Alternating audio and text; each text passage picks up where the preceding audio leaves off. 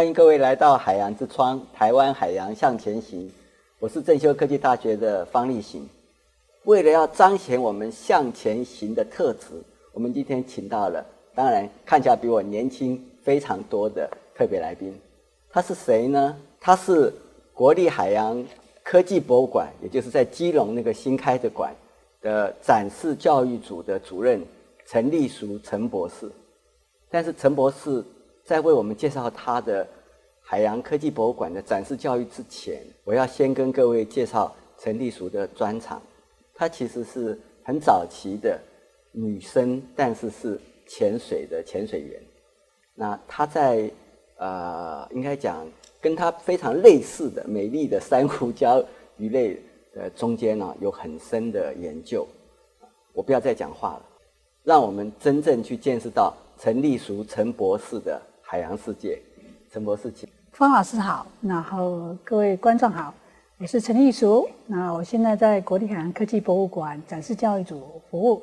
然后，诚如刚才，呃，那个我们主持人讲的，然后，呃，我目前就是我的工作就是在做展示推广教育。那我自己的专长，我是做珊瑚礁鱼类研究的。嗯，很难想象，呃，当然我们访问里面还是有女生呐，但是怎么样的一个女生会进入海洋，然后又进入水里面呢？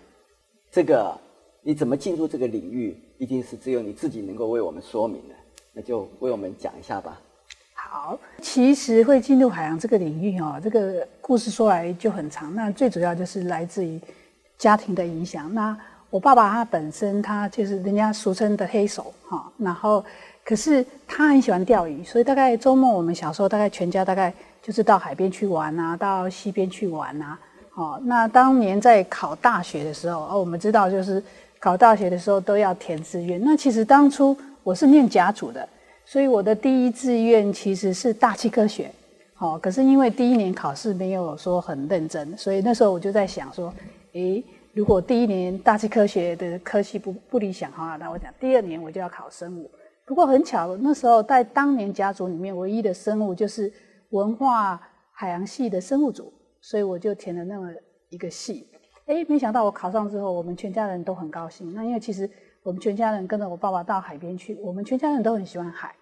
然后后来是全家人劝我，你就不要重考了哈。你现在已经已经已经念生物了，反正你明年重考也是要念生物嘛。那今年反正就已经生物，而且是海洋，对不对？我们大家都那么喜欢海，那你就去念吧。好，啊，所以对我来讲，我觉得进入海洋这个领域，等于是带着我们全家人的梦想去。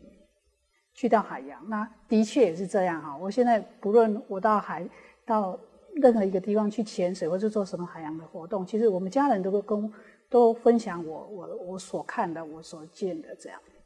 刚才呃，陈博士告诉我他怎么进入了海洋，但他没有告诉我了，他又怎么进到海底的呢？一个女生她怎么会换上潜水衣，跑到外面去晒太阳，然后最后？悠游在海洋中间呢，啊，陈博士要不要为我们讲一下？那其实这个也是一个很妙哦。那因为我们当初在念那个呃文化海海洋系海生组的时候，然后学长就讲说，念这个系的人每个人都要会潜水。那我们就是属于那种乖乖牌的学生，所以在大一的暑假，大概是民国七十一年的时候，我就去学潜水。哦，啊，当我去学潜水的时候，我才吓一跳，原来。在潜水的领域里面，其实大部分都是男生，所以我变成是成为台湾很少数在早期就是参与那种潜水工作的女生。那后来，呃，之后研究所的时候又有机会继续潜水，所以就变成就是也不是很刻意，不过就是不小心就就成为就是比较早一批的那种女性潜水者这样。就我所了解的话。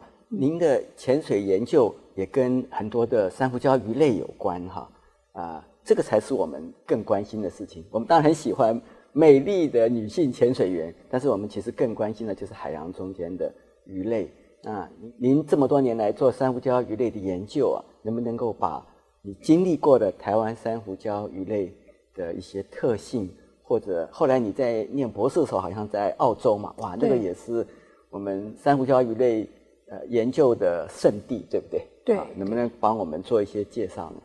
对，那因为其实因为当初我硕士班是跟中研院邵广昭老师，呃，我是他第一批的研究生。那老师的研究里面就是做很多珊瑚礁的一个生态的调查，那时候都是帮那个核能电厂做所谓的生态调查，那可能是就是我最早期接触珊瑚礁这样的一个生态。你做核能电厂为什么跟珊瑚礁的鱼类有关呢？为什么跟珊瑚礁鱼类？因为核能电厂那时候大家非常关心说核能电厂到底对生态有没有什么样的一个一个影响。那当然影响里面有很多啊，包含说是对生物的影响、对水质的影响。那在呃邵老师的实验室里面，我们最主要负责的就是在监测在鱼类它的整个那个群聚，就是它的数量种类的变化有没有。有没有一个比较大的变化？所以那个是一个很稳定的一个计划。所以当年我们做的，我们实验室是持续一直都在做核能电厂附近的生态的调查，尤其是呃，我们最主要的调查点是在核能三厂，就是在垦丁那边的一个后壁湖那边的一个一个监测点。好，那我们这个节目是介绍知识，所以百无禁忌嘛哈。所以当年你们做的结果哈，有没有？发现说，呃，核能电厂它排出来的，一般来讲都认为它的，呃，温比较高温的水哈，是会对呃珊瑚礁的鱼类造成直接的伤害的，尤其是对脂质鱼类，就比较小型的鱼类，就是小鱼啦，就是幼鱼，因为它会被吸进去，又会在被的比较高的水温在在烫到嘛，就这样。我用烫到这个字是不对的，这专业当然还是你啦，要不要告诉我们一下你们后来做的结果是什么样子的？其实我那时候的硕士的研究，我们就是叫做呃，只至于高温刺史的一个研究。因为当初就是有考量到说，哎，我们一般讲哈，核能电厂它洗进来，呃，吸进来用的那个冷却水的时候，它会对鱼类有两个影响，就是比较大的鱼类我们叫做撞击，就是直接鱼就被那个它有一个篓子哈，就是呃水抽进来之后，那有很多鱼就被呃怎么讲，就是随着那个。呃，冷却水进来，那就会被人讲会受到撞击，然后就会死掉。那另外一类就是比较小的鱼或是鱼卵，它会随着冷却水，然后到比较内部去。哦，那那时候的温度就会比较高。那当初呃，我们的研究，我我的研究最主要就是在研究，就是说，那鱼类对于那样的温度的变化是不是能够承受？那当然，我们我们所谓的冷却水，因为真正在核能电厂，它的冷却水。最靠近那个核心锅炉，那个温度是很高。那我们一般它抽取海水的那个冷却水，是一个在在外面那一圈的一个冷却水，其实温度都没有那么高。所以至少那时候，呃，我的硕士论文做出来的结果，应该鱼类大概都还是可以可以忍受那样的一个范围。对，是的。不，至少您可以用很科学的研究来告诉我们，我们呃一般对电厂冷却水的疑虑啊，这个就是很重要的结果了。嗯。那可是除了这个以外，您刚刚讲到后来呃也到了澳洲嘛哈，那在澳洲的呃潜水的经验，或者甚至你研究的经验，又可以告诉我们一个什么样不同的世界呢？我我认为啦，澳洲其实我去念博士班，我必须承认啦，我那时候去念的时候，我才华姐其实我们国内的的整个研究的水平其实是不出澳洲，可是我到澳洲去，对我真正最大的一个收获就是。在大堡礁做研究，那我在大堡礁大概前后四年，我大概请了大概三百只的瓶子哈。然后为什么说对我来讲很重要？因为以前我们在台湾潜水的时候，我从来没看过鲨鱼，所以当我第一次到呃那个大堡礁去潜水的时候，我看到鲨鱼的时候吓一跳，因为那时候我们的前辈哈，包含说邵老师或是我们主持人方老师，他们都会提说，哎，珊瑚礁区应该要有鲨鱼，可是我们看都没看过。甚至于我们那时候到东沙去潜水，大家都预测会看到鲨鱼，可是我也没看过。可是我真正第一次看到鲨鱼是在大堡礁，那那时候我才真的相信说，一个完整的珊瑚礁区其实应该是有那个顶顶层的猎食者。好，那不只是是鲨鱼哦，我们讲说大家最喜欢的小丑鱼。那我们一般我们在台湾潜水的时候，我们都必须要特意去找才会看到小丑鱼。可是我在大堡礁的时候，它在浅浅的地方有一种在比较浅水域的那种小丑鱼，大概大概三四米，那等于就是说你浮潜就可以看到的是小丑鱼。那在大堡礁那边是到处都看得到，可是在台湾看不到啊。我这这讲法也不对，在台湾就是在核能电厂入水口那边受保护、没有被干扰的地方，在三四十米的地方也有小丑鱼。等于是说，我在大堡礁是让我第一次有机会看到，哦，原来因为没有干扰的珊瑚礁是长这个样子。所以，在以前我跟邵老师潜水的时候，老师常常跟我讲说：“秘书，以前珊瑚礁不是这个样子。”可是对我来讲，我是不能理会。所以对我来讲，那个是真的是蛮震撼的哈。那当我自己回来台湾的时候，我会更清楚的知道这个其实是是不一样的。刚才陈博士讲了一句话非常有意思哈，就是说他在台湾比较难看到的呃小丑鱼，但是是在核能电厂的。入水口，核能电厂不是一个大家都认为是生物会受到破坏的地方吗？